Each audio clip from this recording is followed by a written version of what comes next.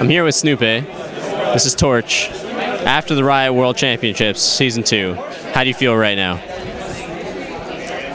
That's awesome.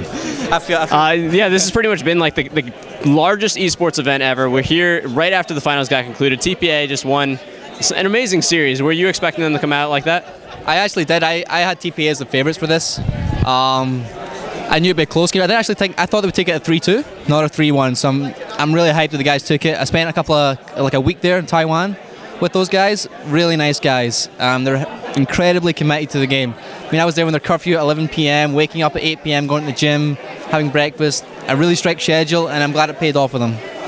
That's really nice to hear. Like we saw so much energy and cheering from the, the fans here in the stadium for TPA. From a, a player's perspective, like how does that change your mentality when you know you've got the entire stadium cheering for you and wanting you to win, wanting you to get those kills? I think that was actually one of the biggest things I said is I thought it was going to go 2-2 and then that last game would be all about the crowd pushing you forward and I thought that's when TPA was going to take it but the crowd was with TPA from game one so that carried them through and I think uh, it was really impressive they pulled it off for the crowd especially and the fans at home. Have you experienced a situation that was similar to this? Do you have any stories that like uh, you guys were in a 2-2 situation and the crowd kind of tipped it one way or the other?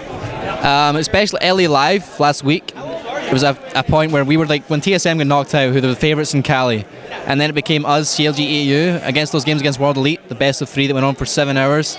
The crowd got behind us, and our spirits were so high, and we're feeding off the crowd, and it's it's really like I can't even describe it. It's really like a huge emotion you feel inside you when that happens. Well, uh, hate to break it to you, but they weren't cheering for you guys. They were cheering for the, the ward kills and which team's wards were actually better than the others. But either way, it turned out pretty well. You guys made it so that uh, you extended your series to be over four days or five days. Uh, how did that feel, knowing that you had to just come back and play one more game to decide if you're going to continue on or not? That is actually really intense. When it's a best of one, like we, we're a, team that likes best of threes because you, you're always going to get into your groove in a sense. But when you come back after a couple of days and go in a best of ones, especially against the Asians, who are like the biggest theory crafters in the industry, it was really a lot of pressure on our heads. I'm glad we pulled it off, but it was scary. It, it definitely wasn't easy. Your team has been traveling all around the world. You played in all the, the major tournaments in Europe and actually made it out to OGN the Champions for one of those seasons. Uh, what or how would you rank this tournament here today, and where do you think it needs to go to improve uh, for the next year? I actually think this rivals every single event I've been to in the past, even the OGN finals at the War Museum. Um, even the event in Taipei where we had like 50,000 people attending.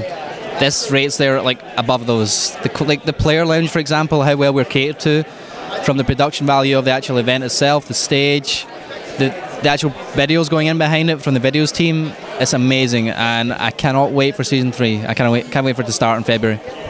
Speaking of season three, what are you guys planning to uh, prepare for that, and like how are you guys taking the emotional roller coaster that this uh, entire week has been and, and, applying it to the next season? I think it get, I got a huge buzz, a huge buzz out of the past week, and it really like it fired me up, wanting to be even better than we were. Because I like even though we're, I'd say we're training harder than most European teams and pretty much the entire NA scene, but compared to the Asians, we're not training as hard as they are. And I think if we even get close to training as hard as they are, I think we're very big contenders for season three. Well, we got an entire season to uh, figure out if that's going to be going down.